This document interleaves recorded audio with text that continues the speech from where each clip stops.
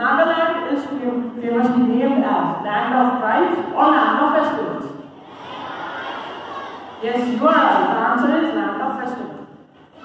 The majorly followed religion of Nagaland is A. Christianity or B. Hinduism. The right answer is A. Christianity.